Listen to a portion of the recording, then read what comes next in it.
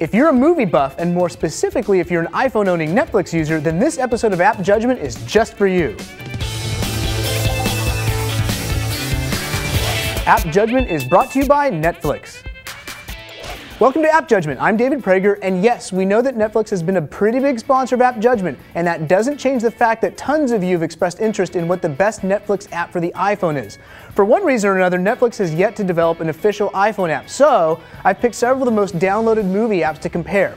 So first, let's quickly go over the very basics of what Netflix is, which I'm sure you all know. With a Netflix account, you can rent movies online and they snail mail DVDs to you. More recently, you can even stream movies online directly to your computer. The main things you do with the Netflix web interface is pick the movies you want to see and set the priority in which you want them shipped to you. There's a queue for DVDs and for watch instantly. So, with those basics in mind, let's see what some of these apps can do. This first app is called PhoneFlicks. It's free and lets you browse and reorder your Netflix DVD and instant queues. You can also search for and add movies to your queues as well as see the list of popular movies. Next up is the 99 cent app called Easy Movie Pick. This app's focus is just like Urban Spoon, which lets you randomly pick a restaurant to go to like as if it was in a slot machine. You sort by genre and release year and number of stars. You can add any movie you land on to your Netflix DVD or instant queue. Finally, Easy Movie Pick allows you to view and delete or reorder items that are in your Netflix queues. Next up is iRent Movie. It's $2.99 and 100% Netflix focused. Your queues are very easy to access, edit, and reorder by holding and dragging movie titles. All of the popular lists are quickly accessible, and you can get details of synopses of movies, ratings, and maybe even a YouTube trailer. Next, we've got the app Now Playing. This app also lets you access all of your Netflix queues, select movies for details, reorder and modify your queues, as well as see all of the popular lists and recommendations, and pretty much everything the Netflix web interface provides, minus many of the trailers.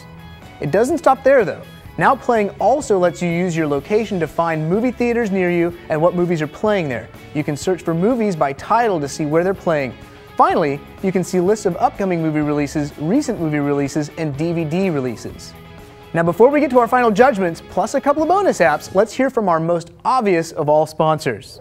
That's right, this episode is brought to you by none other than Netflix. Netflix has more than 12 million members and is the world's largest subscription service for streaming movies and TV episodes over the internet and sending DVDs by mail. For just $8.99 a month, Netflix members can instantly watch unlimited TV episodes and movies streamed to their TVs and computers and can receive unlimited DVDs delivered quickly to their homes.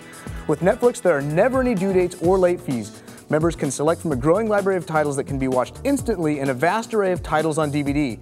Among the large and expanding base of devices that can stream movies and TV episodes from Netflix, right to members TVs are Microsoft's Xbox 360, Sony's PS3 game console, and this spring, the Nintendo Wii console. You can find movies you love easily. You can browse, search, or see our recommendations for you, or Netflix recommendations for you. They even have a special back of the box feature that lets you get the, any detail of any movie instantly.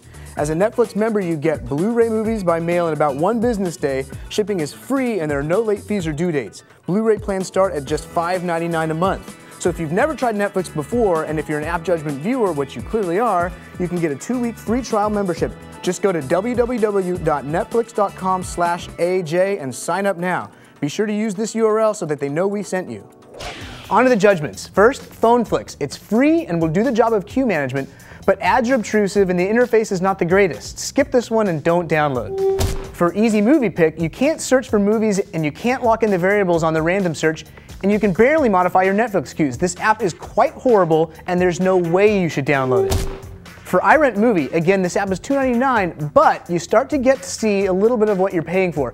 Features look attractive and are easy to navigate and use. You get quick, easy, and mobile access to all of the primary Netflix features, I was about to say a definite download, but don't pay the $2.99 and don't download this. Here's why. The Now Playing app does everything that iRent Movie does as a Netflix interface, but doubles as a movie and theater finder, a release schedule, and it's completely free. Now Playing is a definite download. Now here are a couple great bonus apps. For $1.99 you can get Pocketflix that has a great user interface and is solid for Netflix only users that's worth the download. And finally, Movies by Flixster also lets you find theaters, buy tickets, see trailers, and manage your Netflix queues and lists. All for free, it's a great app and a solid download. There are clearly a lot of amazing apps for Netflix management, movie tickets, trailers, and reviews. Personally, I can't wait until Netflix launches their own official app that I hope trumps them all, including what I think is the Netflix mobile app Holy Grail, and that's streaming movies live to your phone.